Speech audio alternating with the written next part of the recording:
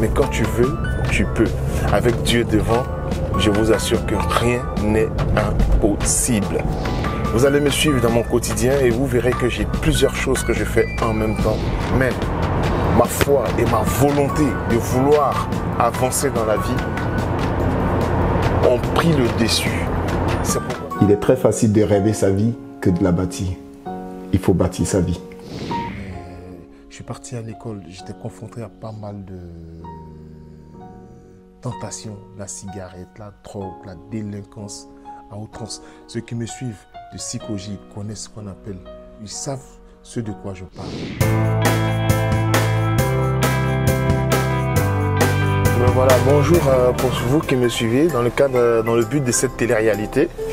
Voilà, aujourd'hui je vais, euh, je vais à Blanc-Ménil, voilà là où euh, j'ai fait le studio photo, qui est un de mes projets.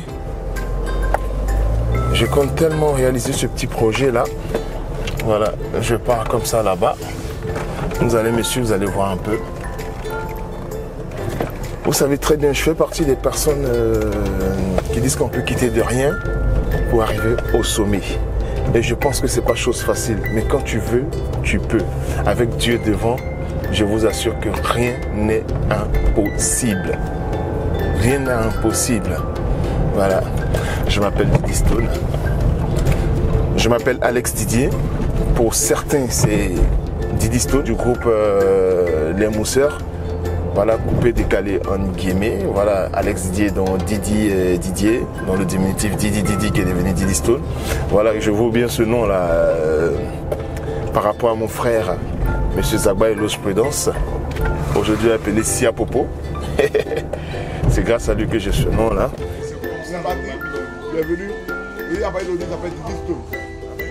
Voilà, lui c'est un ami d'enfance, d'enfance. On vient de très très très loin.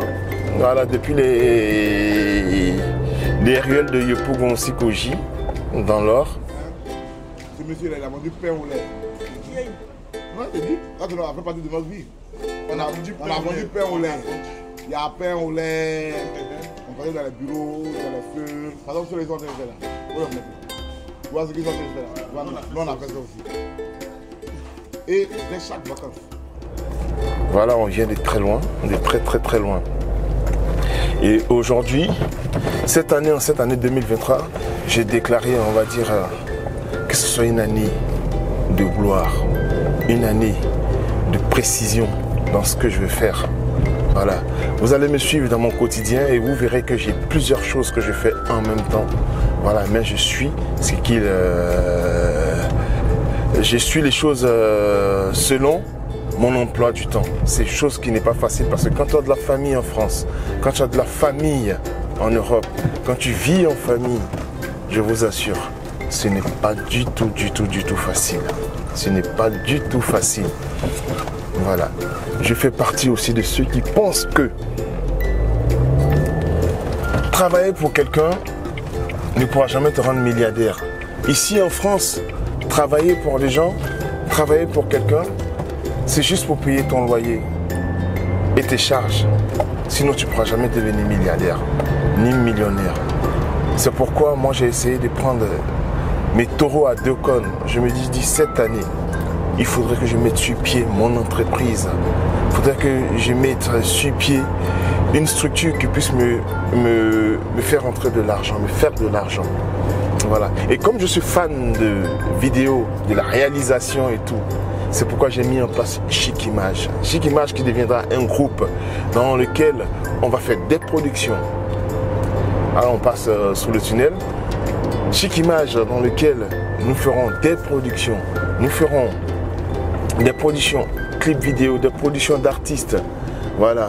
Et un studio photo couronné par un studio photo que je suis en train de réaliser. Voilà. Et là, on part comme ça dans le studio photo. Et je pense que quelque chose va se passer en cette année 2023. Nous sommes aujourd'hui le 9, on va dire février 2023. Et je pars comme ça là. Je vais encore pour peaufiner encore ce studio là. Et je sais que ça va déjà fou. Je sais que ça va déjà fou ce studio là. J'ai la foi. J'ai la foi, j'ai la foi que tout ce que je vais entreprendre cette année ça va déjà fond. Cela ne veut pas dire que j'ai pas de problème. hein. J'ai beaucoup de problèmes, énormément de problèmes. Mais ma foi et ma volonté de vouloir avancer dans la vie ont pris le dessus. C'est pourquoi je veux forcément atteindre cet objectif-là, celui de créer une entreprise, Chic Image Group. Chic Image Group. Et hormis ça, j'ai une autre entreprise que j'ai essayé de créer en 2009. Mais tout simplement, euh, à cause de la Covid, j'ai pas pu suivre. Et ça m'a vraiment euh, plombé en fait. Et là, je suis en train de revoir les choses pour pouvoir remettre en place cette euh, entreprise qui n'a pas pu, avoir, pu voir, cette entreprise qui n'a pas pu voir le jour. Je ferai tout possible. Voilà. Et dans cette aventure, j'aurais besoin de vous qui, me, qui me suivez. J'aurais besoin de vous qui me suivez. Voilà, pour me donner soit des conseils ou euh, aimer ce que je fais. Voilà, ceux qui ne vont pas aimer aussi, bon voilà, ils vont donner leur avis. Mais tout concourt à celui qui veut réussir. Les critiques, ça ne, fait que me bonifier des critiques. Voilà. Pour l'instant, Capture euh, mener, le temps est très mauvais comme vous le constatez. Le temps est très très très très mauvais. Bon allez, je mets Dieu au devant et on se retrouve là-bas. À tout à l'heure. Comme je le disais tout à l'heure, hein, regarde, viens voir un peu. Voilà un peu une petite partie du studio. Voilà. Là, on est euh, vraiment en chantier, c'est pour voir les lumières, voir un peu euh, voilà, comment est-ce que tout va marcher et tout. Voilà. Mais on n'est pas sûr de regarder sur, ce- côté-là. Voilà. Ici, c'est la comptabilité, c'est le maître d'orchestre. Voilà. On va dire euh, le chef, le voilà. Il s'appelle Armand. Lui aussi, il fait partie de tout ce qu'on va dire quitter de loin pour être au sommet. Il a bataillé pour être là où il est. Et aujourd'hui, nous sommes, euh, on va dire, dans son bureau aussi là. Voilà, il est en train de travailler sur pas mal de trucs. C'est un espoir comptable. Ah, guillemets, voilà. Euh, Armand, voilà, et je veux dire un truc encore, il m'a beaucoup épaulé, il m'épaule beaucoup dans tout ce que je fais. Voilà, il me donne de bons conseils, il me donne, euh, il me, il me donne de la force. Voilà, et chacun a toujours quelqu'un comme ça pour lui donner de la force. Et lui, c'est une personne très particulière.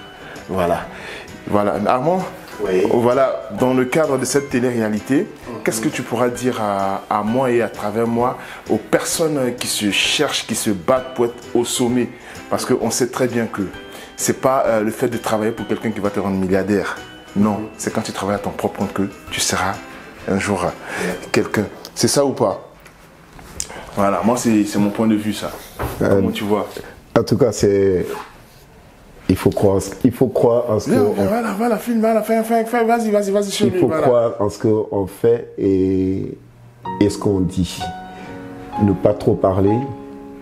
On peut discuter avec des amis d'un projet, mais il faut avoir foi en soi. L'ami va certainement te donner des idées ou un chemin qui va te décourager. Mais si tu as foi à ce que tu dis et à ce que tu racontes, tu peux y arriver. Il n'y a rien qui puisse bloquer. Parce que même en français, on dit, il est très facile de rêver sa vie que de la bâtir. Il faut bâtir sa vie. On ne dit pas, quelqu'un va, bâtir ma vie pour moi. C'est soi-même qui doit bâtir cette vie. Donc, partir des zéros pour réussir, c'est soi-même. Je suis né aujourd'hui, j'apprends à parler, j'apprends à marcher jusqu'à ce que je sois adulte. Et pour devenir milliardaire, c'est ça. Il faut savoir naître de zéro arriver au milliard. Je vous avais dit, j'ai lu ce monsieur-là il a des choses à nous dire. Et c'est comme ça, ça a commencé comme ça, hein, tout doucement, tout doucement. On va y arriver. Bon, maintenant, on va aller, mon cobaye est là-bas, je vais le shooter. Affaire à suivre.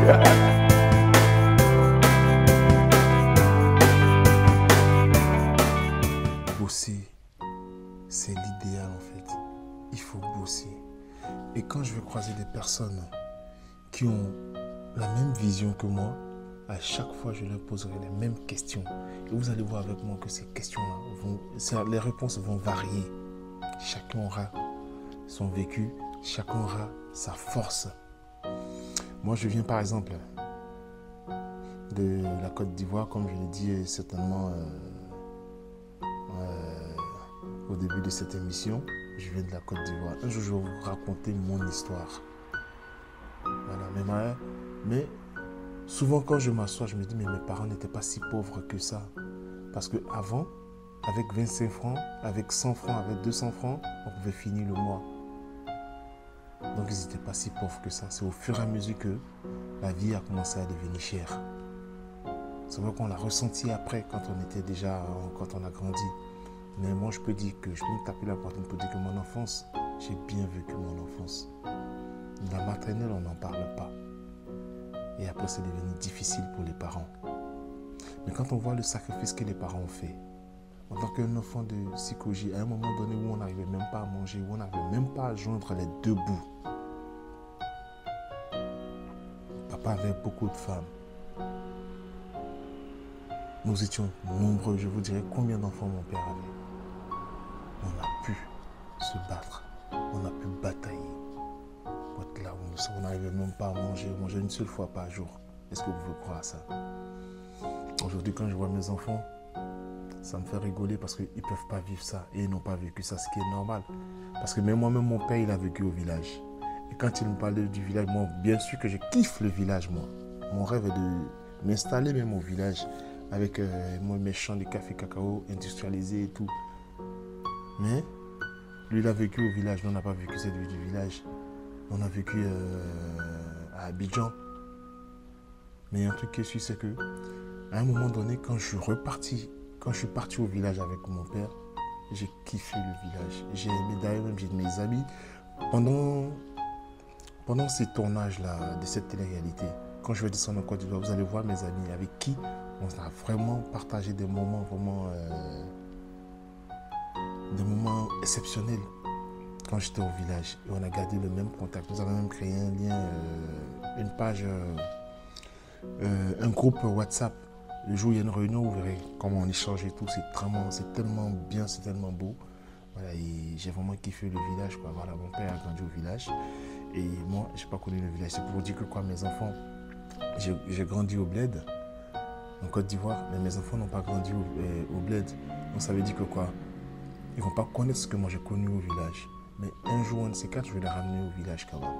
Je vais les ramener à Abidjan, je vais les ramener en Côte d'Ivoire à un moment donné. Bien vrai qu'ils sont déjà partis, mais je vais les ramener encore. Pour qu'ils connaissent, pour qu'ils s'imprègnent encore et encore.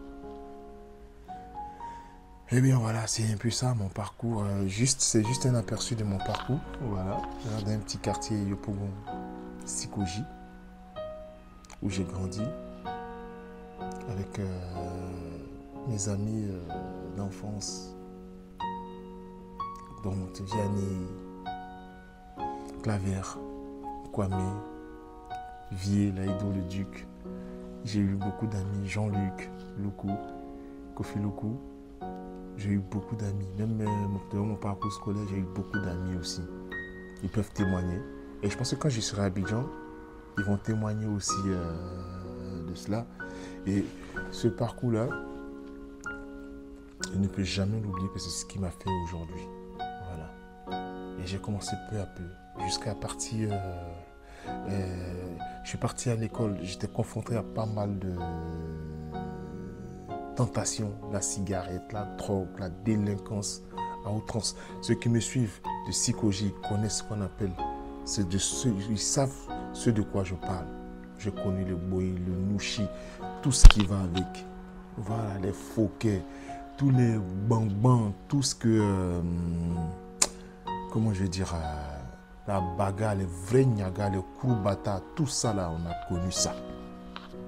On a connu. Quand je dis j'ai connu ça, ce n'est pas du leurre. Parce que vous allez avoir des témoignages, ce n'est pas du leurre. J'ai connu ça, j'ai vécu ça. Voilà. Ce qui a fait qu'aujourd'hui, l'école euh, l'école de la vie, je la connais. J'ai été un bon bagarreur aussi. J'ai été un bon sportif aussi. On dirait même pas aujourd'hui. Aujourd'hui, on nous un chocolat, t'es assis devant le bureau en train de taper, machin et tout. Mais c'est parce qu'à un moment donné, je me suis dit quoi? Les autres ne sont pas mieux que moi. Il faudrait que moi j'avance. Je mettre Dieu au devant, mais je vais avancer. Donc à un certain moment de la vie, je regardais et puis j'ai dit, bah ok, moi je vais avancer. Je vais avancer. C'est comme ça que j'ai commencé à entreprendre certaines choses. Entreprendre certaines choses et qui m'ont mené jusqu'à là. C'est très long. Je vais vous expliquer au fur et à mesure. Je vous rentrer dans les détails au fur et à mesure que qu'on sera ensemble euh, durant l'émission, au fur et à mesure. Ah mais j'étais un bon tombeur de femmes. Ça, je vous le dis pas. Hein. Donc je reviens un peu à ma préparation de demain. Je suis en train de préparer un peu les questionnaires de demain, si jamais je croise des personnes qui ont du vécu et des personnes qui ont de l'expérience. Parce que par rapport à ce que je suis en train de faire, demain c'est le truc parfait en fait. Vu que je suis en train de créer ma maison de production, je suis en train de créer un studio de photo. Voilà, donc demain je serai dans une production. Voilà. Et en fonction de cela, je vais demander, euh, je vais poser la question aux personnes qui sont là. Peut-être me, ils me donneront voilà, des astuces, des conseils comme je le fais toujours, à ce que je croise. Voilà, et je verrai ce que ça va, ça va donner. Donc ma deuxième question demain, bon voilà, je posais la question par exemple, qu'est-ce qui t'a marqué dans tes moments les plus difficiles? Parce que j'ai vécu des moments très très très très difficiles aussi moi, où tu te poses des questions, des questionnements, des questions dans la question, du questionnement. Et puis tu si tu regardes devant, derrière, il n'y a personne. Ah, frère. Faut, faut, faut, Ah là là, tu te poses beaucoup de questions. Mais qu'est-ce qui n'a pas marché dans ma vie? Hmm. Pas facile hein, quand tu te trouves dans ces situations-là. Ma source d'inspiration aujourd'hui, ce qui me donne la force de me, de me battre, ce sont mes enfants. Pour qu'ils aient un lendemain meilleur mes enfants, ma petite famille m'inspire. Et aussi, quand tu vois certains... j'ai eu certaines frustrations qui me donnaient la force aussi. J'ai été vraiment frustré aussi vis-à-vis des personnes euh, qui avaient des sous et qui pensaient qu'ils étaient Dieu. Avec qui, euh, ça dit que à un moment donné, qui pouvaient même pas, qui... C'est-à-dire les gens qu'on dit sont gonflés. Voilà. Et quand je les regardais, j'ai dit non, moi, je peux devenir comme toi et puis je ne veux pas avoir le même caractère que toi. Voilà. Et cette source d'inspiration vient aussi de mes dévanciers. Voilà, j'ai des aujourd'hui comme Docteur Boka. Et la dernière fois quand je suis rentré dans le bureau de Tito, waouh, waouh, waouh, waouh. Ma source d'inspiration, à Salfo, Waouh. En fait, il y a des personnes que j'ai vues évoluer. Et ceux-là, quand je les regarde, je regarde leur parcours, j'ai dit, moi aussi, je peux arriver. Moi aussi, je peux arriver. Moi aussi, je peux arriver. Donc voilà un peu. Je, vais faire deux, trois recherches et puis après, euh, voilà. Je vais voir comment me reposer un peu. Je dirais tout simplement à tous ceux qui vont me suivre dans cette aventure, ne baissez jamais les bras. Ne baissez jamais les bras. On ira tous au sommet. Tous au sommet. Mais tout en mettant Dieu Tout-Puissant devant. Seigneur, je te remercie pour tout.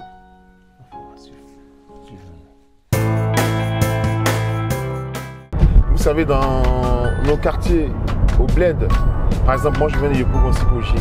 C'est comme un village pour moi, Yopougon-Sikoji. Et euh, là-bas, nous avons créé un certain lien qui fait, qui fait que qui fait que des voisins deviennent comme des frères. Euh, comme j'avais dit tout à l'heure, je vais faire une surprise euh, à mes grands frères là, aujourd'hui qui reçoivent. Je pense qu'ils ne savent pas que je viens avec une caméra. C'est pas une caméra cachée non plus. Hein. Ils vont, voilà, je vais voir leur réaction en temps et en heure et je verrai ce que ça va donner. Parce que quoi? Je me rappelle bien quand il écrivait Manoué, on est fatigué. C'était quoi? Je lui ai donné le conseil, je lui ai dit, il m'appelle le professeur, je lui ai dit, s'ils disent que tu es jumeau, c'est leur problème. Moi, les enfants ont dit non, mais papa, ce que tu fais, c'est bien. J'assume. Hey, tranquille. L'influenceur. Hey, Coro, ça va bien et toi?